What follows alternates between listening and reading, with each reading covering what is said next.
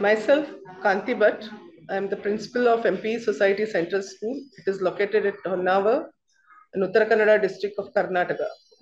Uh, our school is established in 2009. It is a dream project of our ex uh,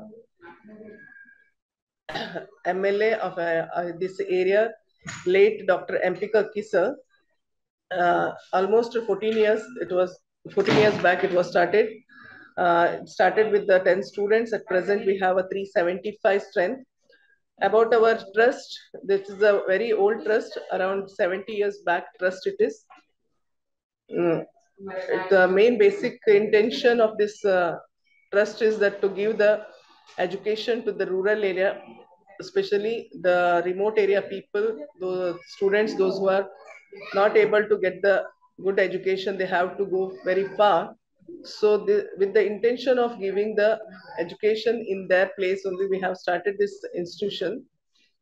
Uh, it started with the PU and a degree college.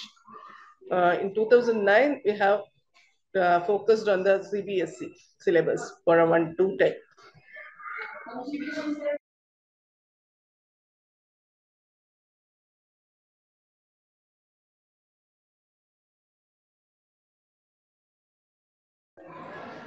Yeah, after COVID, actually, when we discussed with the teachers and even when I observed, most of the, it is a difficult to make the students to sit in one place.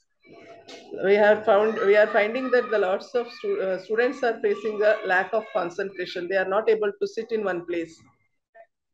Actually, the we together in this meeting, we have discussed uh, regarding that. And even lots of time we have conducted the PTA, parents teacher meeting. And we discussed with the parents also. Compared to in the beginning when we started the, in the june now we will at present we are facing okay it is a little bit okay. We are thinking that maybe the next year it will be reduced very much this problem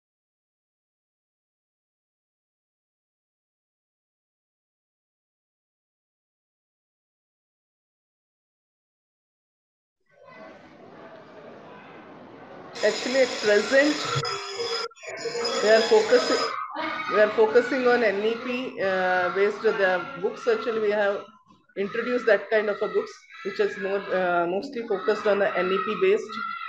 And this, uh, we are planning to introduce some skill based subjects in our school. Um, it may be, it may be very much helpful to the students uh, to bring their uh, talents or their creativity out. I feel like that if we implement the NEP, it will, it will be very much helpful to the students.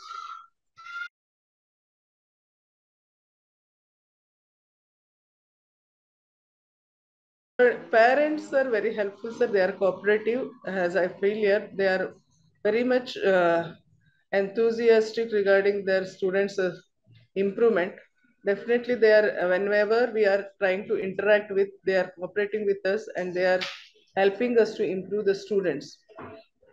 And lots of uh, suggestions which we can implement in our school, we get from them also, and we will try our level best to implement that.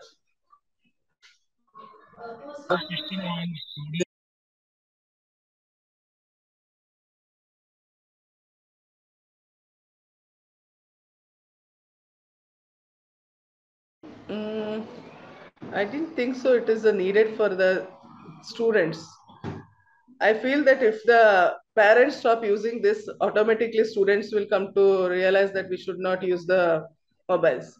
If parents if themselves, if they are starting reading the books or uh, reading the newspapers like this in front of a students, at least if they do this when the students are present at home, maybe the they will follow the parents only. I feel that the whatever the students will learn it is from our their surroundings only. They are observing the teachers and they are observing their parents and definitely they are following them. If we reduce these all things definitely we can make the students also uh, students also using these all things uh, we can make them to reduce these all things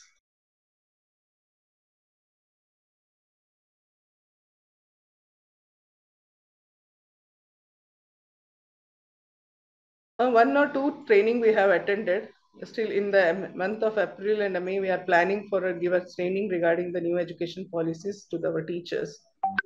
But I, still, still it is not so much clear to the our teachers and to maybe that it is to me also uh, about the national education policies. But still, we need the practical train, training. I feel like that instead of a theoretical.